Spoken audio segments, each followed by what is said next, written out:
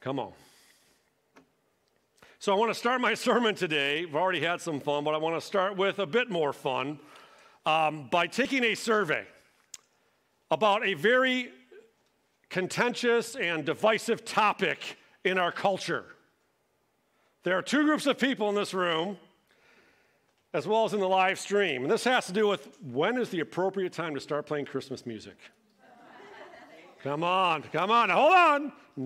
Now, it was, it'll be very interesting to see how things shake out with the second service. Things were weighted heavily in one direction for the first service, but let's see. So I want everyone to participate with a show of hands and maybe some enthusiasm beyond the hand. Uh, the first group, the first group, you already have 100.3 FM, Detroit's Christmas station, locked in on your radio. You've already been playing Christmas music, even though it's November 7th. You've already been playing on the radio, or you plan to real soon. Um, and the reason is you love, you love Christmas music, it's the best music, and you feel like if you play it earlier in the season, it just helps to stretch out the season that goes by, by way too fast. How many of that's you? Hands up, cheer, come on, how many? How many? All right, all right. Group number two, group number two, you, thou shalt not turn on 100.3 until after Thanksgiving, one holiday at a time for you.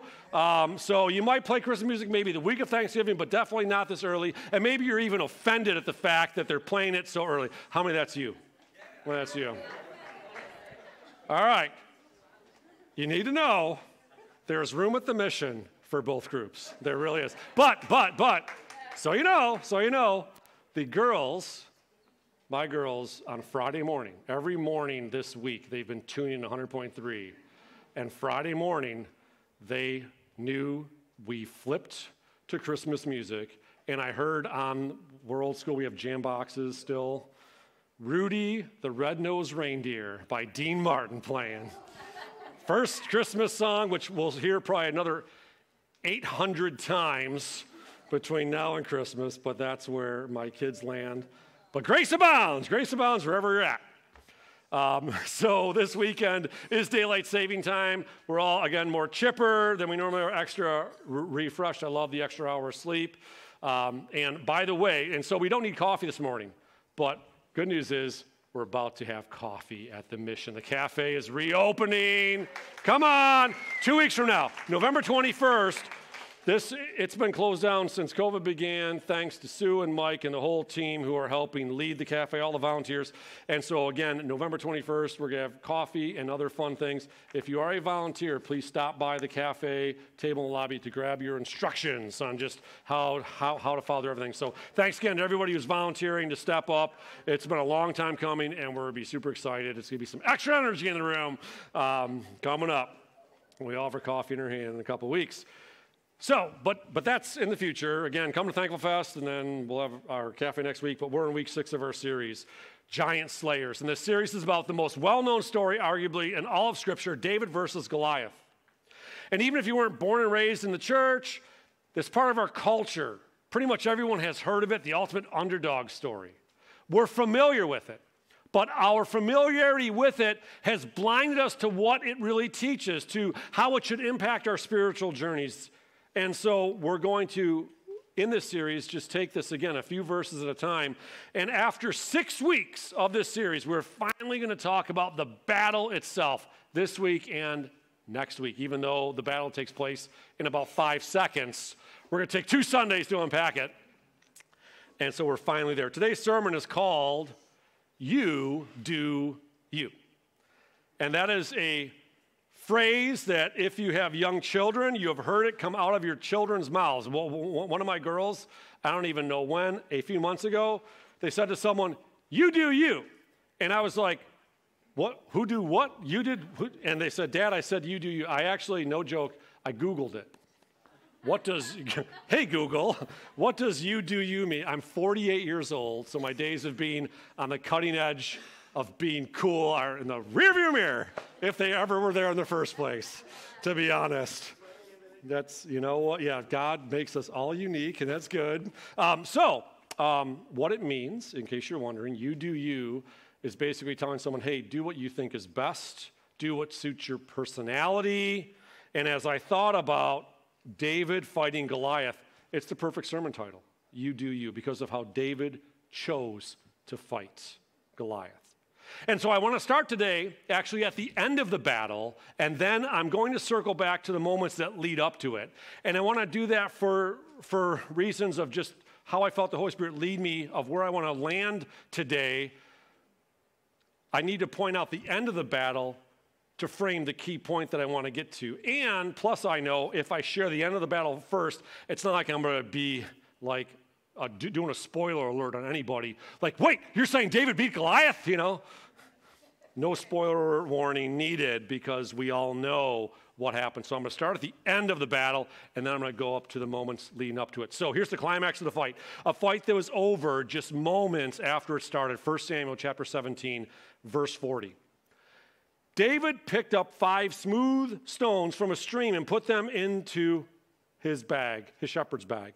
Then, armed with only his, his staff and sling, he started across the valley to fight the Philistines. Skipping down to verse 49. As Goliath moved closer to attack, David quickly ran out to meet him, reaching into the shepherd's bag and taking out a stone. He hurled it with his sling and hit the Philistine in the forehead. The stone sank in, and Goliath tumbled and fell face down on the ground. So David triumphed over the Philistine with only a sling and a stone, for he had no sword. Then David ran out and pulled Goliath's sword from its sheath, and David used it to kill him and cut off his head. Beautiful word picture there. Now, here's what's interesting about this passage and about this battle that was over like a few seconds after it began.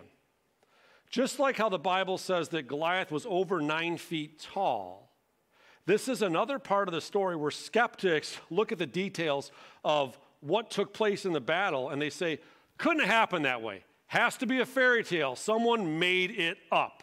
David could not have actually defeated Goliath that way, and there's no way that a stone could lodge into someone's forehead. So, again, a skeptic would say this is just evidence that the Bible is a bunch of fairy tales. And that's actually what I used to believe. I was an atheist. I was born and raised Catholic, bailed hard on God and hard on the faith during my college years going to Oakland University studying engineering, and I used to think that, yeah, the Bible is made up of fairy tales. And even if, by the way, even if you're a believer and follower of Jesus today, you might honestly wonder about those details. And you might have some doubts if you're honest, where you say, you know what? I believe the Bible is God's word, it is inspired, it is, it is the sacred text. And so, so you know it's true because it's God's word, but then Sometimes, like, well, do you actually believe it's true, though? Which is different. and maybe there's some doubts where you wonder if maybe the skeptics are right. Maybe, you know, the Holy Spirit inspired the author and they kind of embellish the details a little bit. And so, wherever you're at on your spiritual journey today, if you're a skeptic today or if you are a follower and believer of Jesus, I want to share a quote with you. It's actually an extended quote that will show that you do not need to check your brain at the door to believe this story. The quote I'm going to share shows that you don't need to have blind faith to believe a story because, by the way, blind faith is not biblical faith. Part of the greatest commandment is to love the Lord your God with all your heart, all your soul, all your strength, and all of your mind, right? Love God with our minds. So here's a quote from a guy, Malcolm Gladwell.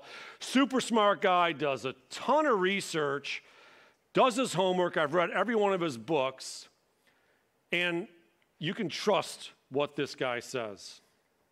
Here's what he says Ancient armies had three kinds of warriors. The first was cavalry armed men on horsebacks or in chariots. The second was infantry, foot soldiers wearing armor and carrying swords and shields.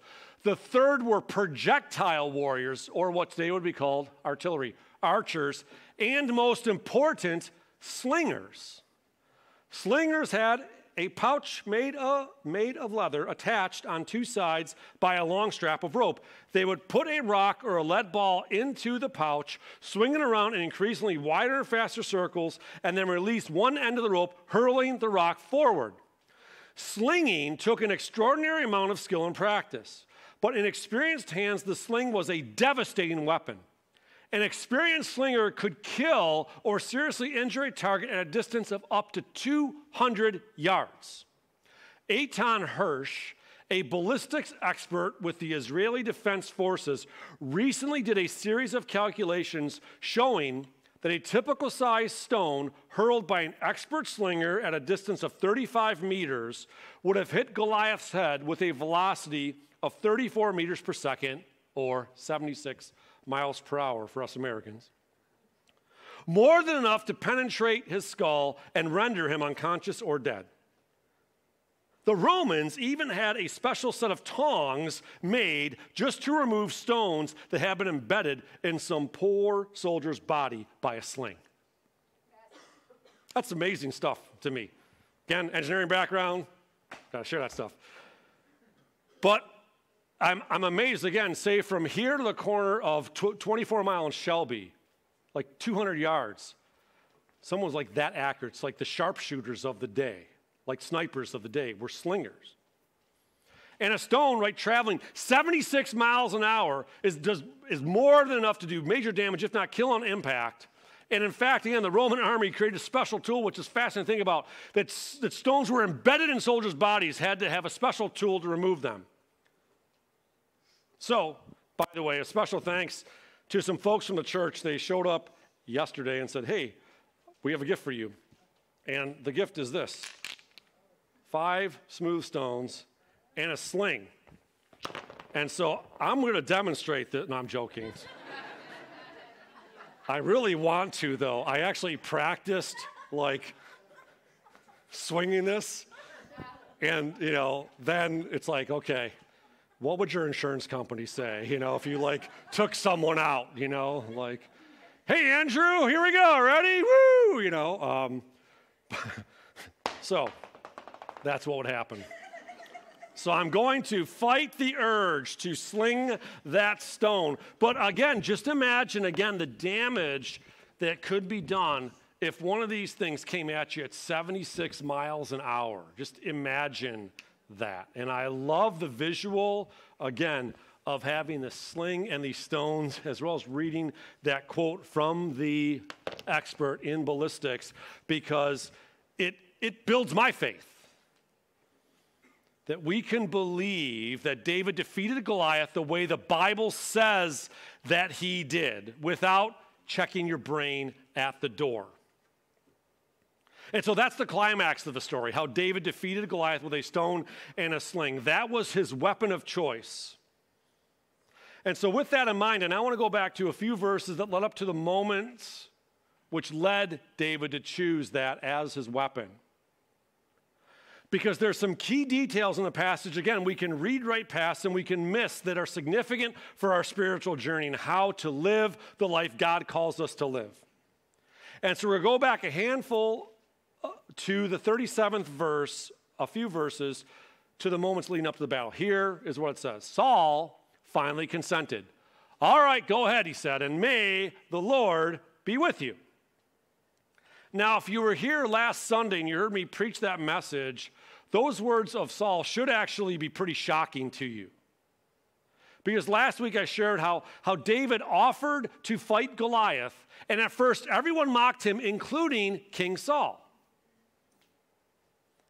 At first, everyone assumed the worst about David. Here's a reminder of a verse I shared last Sunday of what King Saul said in verse 33. Don't be ridiculous. He said this to David. There's no way you can fight this Philistine and possibly win. You're only a boy, and he's been a man of war since his youth. So that's what Saul says to David in verse 33. And then a few verses later, Saul finally consented. All right, go ahead. May the Lord be with you. And so a lot happens in four verses where Saul dramatically changes his mind. And what I find equally fascinating and frustrating is the Bible doesn't explain why. Like where Saul goes from telling David, don't be ridiculous, to give it your best shot, my man. It's a profound change of mind, especially if you read the passage like the fate of the nation of Israel, like that army's fate rode on that one on one battle. So a lot was riding on the outcome of that battle. And I personally would love it if the Holy Spirit inspired the author to write like a few more paragraphs just to like round things out. like, by the way, here's what's going on in Saul's heart and mind, but it's not there. But we have to assume something. We have to assume that the Holy Spirit was at work behind the scenes giving Saul that change of heart. And as I thought about it, I thought, you know, King Saul in this moment was a lot like one of the thieves on the cross. When Jesus was crucified, he was between two criminals who were also being crucified. So there were three crosses on the hill that day. And at the start of the crucifixion, both thieves started off mocking Jesus. Here's what it says in the Gospel of Matthew. And the robbers, plural, both of them, who were crucified with Jesus, also reviled him in the same way everyone else was mocking him. So the crucifixion starts. Both criminals have hard hearts toward Jesus. They're mocking him. And then a few hours later, one of the thieves is telling Jesus this in Luke 23. Then he said, Jesus, remember me when you come into your kingdom. So this heart change happens, and we know a heart change happened in this one thief because of what that thief said to Jesus. There's not really any details that are given as to what led to that change of heart. I would love to know, again, the inner workings of the heart and mind of that thief, but the Bible doesn't say. We don't know why it happened, we just know that it happened. And, and the same thing happened in our passage today with King Saul's heart toward David. I would love, again, to know why, but those details aren't there. We don't know why it happened, we just know that it happened. And so the Holy Spirit had to be at work behind the scenes, working on Saul's heart to get him to change how he felt about David. And that leads to this key thought God is always at work, even when you don't see it. God is always at work. Sometimes it's obvious, sometimes it's subtle, but God is always at work. We sing the song Waymaker, a worship song, one of my favorites, that says, even when I don't see it, God, you're moving. Even when I don't feel it, God, you're moving. You never stop. You never stop working. And for some of you, as I was doing my sermon prep, I realized this is why the Holy Spirit drew you to the mission today. For this that key thought. You need to hear that that's, God, that's God's word for you. God is always at work. God is at work in your life right now, even when you don't see it. And right now, if some of you are maybe having this internal battle where you're challenging me with an area of your life that's a struggle, that's there's a giant attacking you, and that thought just popped in your mind right now, God's at work in that area in your life. He's always at work, even when you don't see it. Verse 38. Then Saul gave David his own armor, a bronze helmet, and a coat of mail. David put it on, strapped the sword over it, and took a step or two to see what it was like, for he had never worn such things before. And so, again, what King Saul was doing made all the sense in the world, right? To think about again, who is David fighting? He's fighting Goliath. And so, according to human wisdom, right? Anyone who's going to face a warrior as tall as Goliath as big, he's a man of war with all his body armor and all, all these weapons. They should be equipped with the best armor, shouldn't they? They should have the best, you know, one on one, whatever weapons. According to the wisdom of the world, they should have the best of the best. And who would have the best of the best? Who would have the best armor in the armor of Israel in, in the army of Israel? It would be King Saul. Who would have the sharpest sword, the best sword? The king would. And so going back to the 38th verse, Saul gave David his own armor, a bronze helmet and a coat of mail. David put it on, strapped the sword over it, took a step or two to see what it was like, for he had never worn such things before.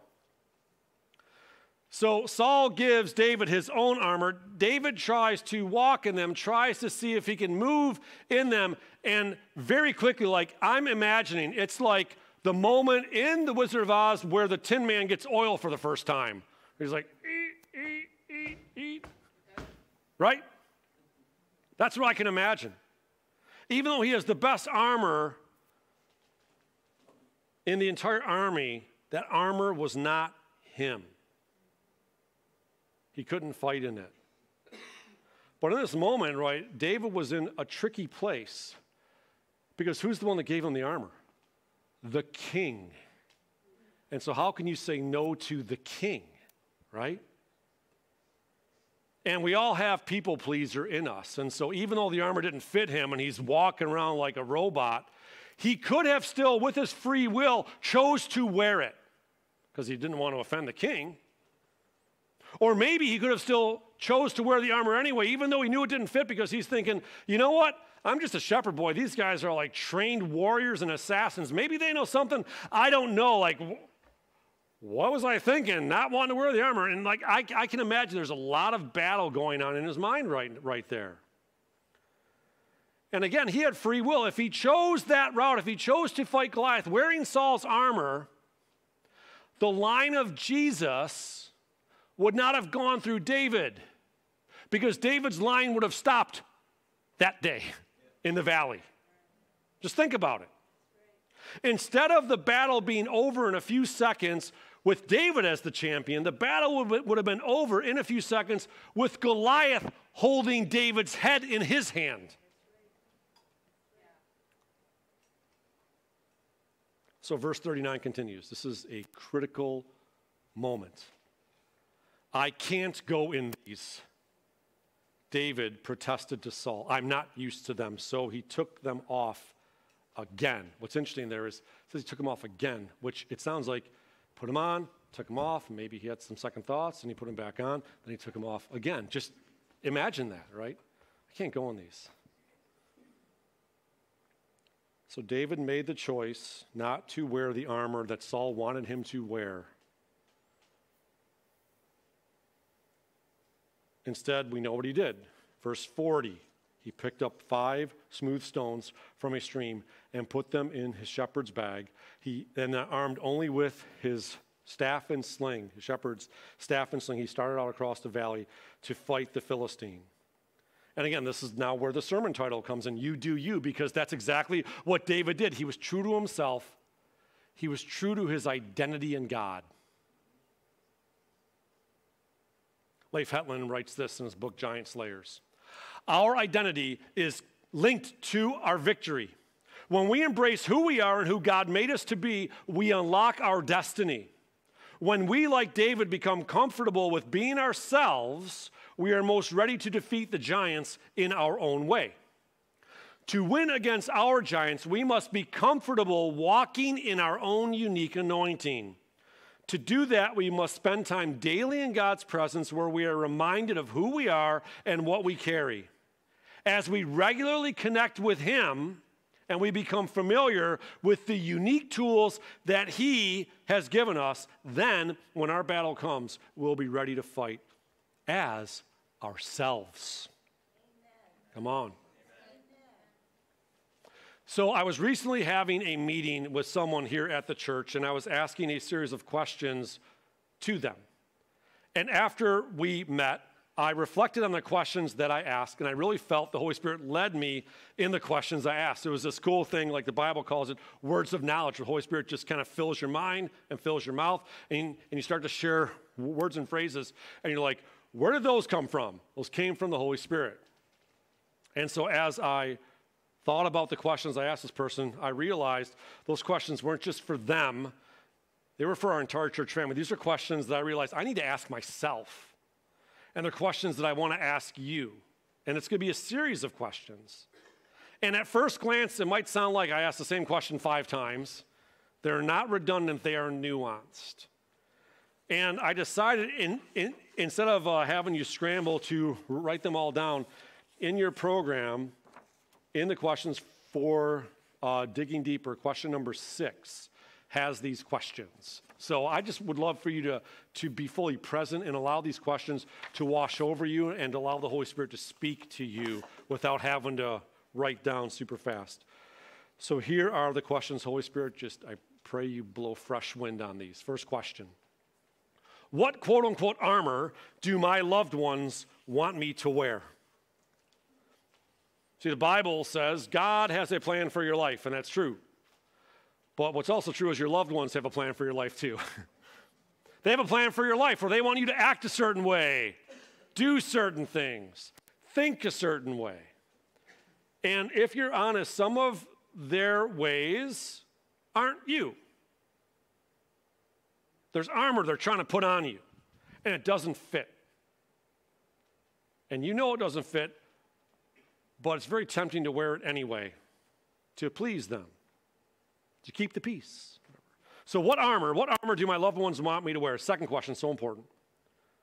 What armor does the world want me to wear? What values, what beliefs, what emotions like fear and anxiety does the world and those in power who run it, from a human perspective, want you to feel? What armor does the world want you to wear? And they're trying to put it on you. Just again, pray into that question. Ask the Holy Spirit to reveal truth to you. Another question What armor was I wearing that I, that I felt was the right armor, but took it off for someone else other than God? Maybe you're doing something in your life, with your life, and, and you, man, God was at the center of it, but then you stopped to appease someone else. Another question. This is a key question. These last two bubble to the top of the list in my heart for you. What armor do I sense God wanting me to wear?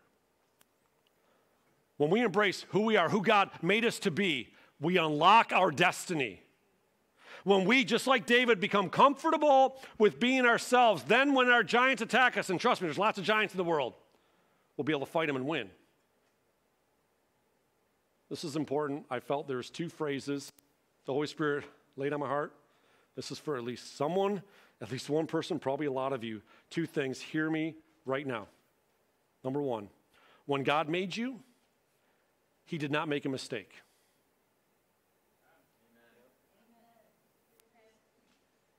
When God made you, He did not make a mistake. Next one. You are not going to be the first f- failure that God made. You're not going to be the first failure. You're not going to be God's first failure. And if that's if either of those questions especially hit you, make sure you get prayer. I love to pray for you. Other members of the prayer team love to pray for you, pray over you. Just break that off of you. What armor do you sense God wanting you to wear? When God made you, who did God make you to be? What passion, what skills, what gifts, what abilities? And I want to, I have one more question, but I, I want to set up with a verse that God gave to me back in 2010 when Kelly and I were just taking our first steps to plant this church. Proverbs 29 25.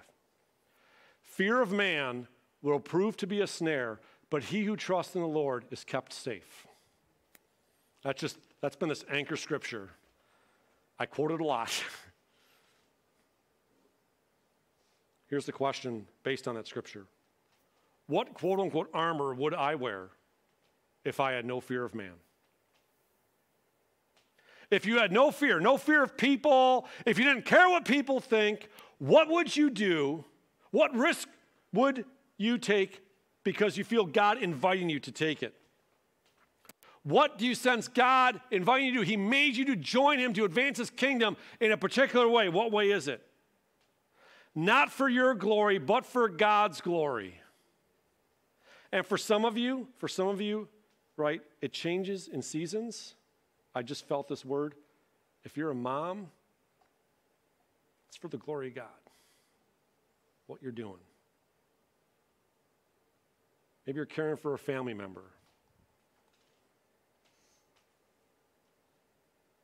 That's the armor that God wants you to wear right now in this season. Again, maybe that just hit me. But I really love to invite you to press into those questions. Take some time th- this week. Go through, I mean, go through all the questions, digging deeper, but particularly question six and those questions reflect on them, pray into them, ask the Holy Spirit to lead you and guide you into all truth. But I believe as I was praying into this sermon in particular, I feel like this is just some things I needed to declare for my family, for our church family, for the American church, for the global church. It is time for us to take off the armor the world wants us to wear. It's time for us to take off the armor that we wear because of fear. It's time for us to put on the armor God wants us to wear.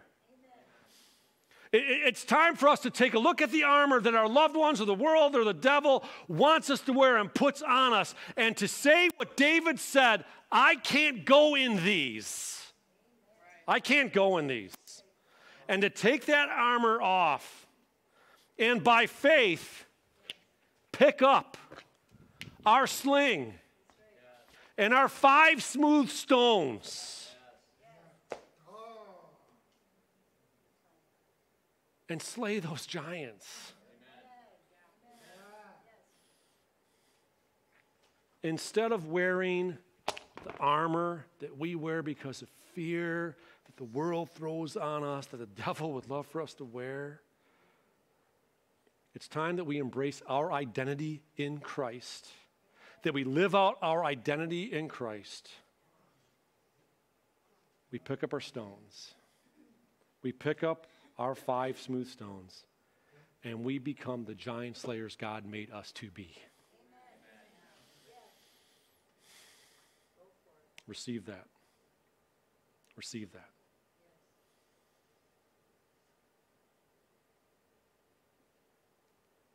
To be continued next Sunday. We're going to focus again. It's a battle. Took five seconds. I'm going to preach two sermons about it. Come on. Thank you, Chris. I love it. Love the passion.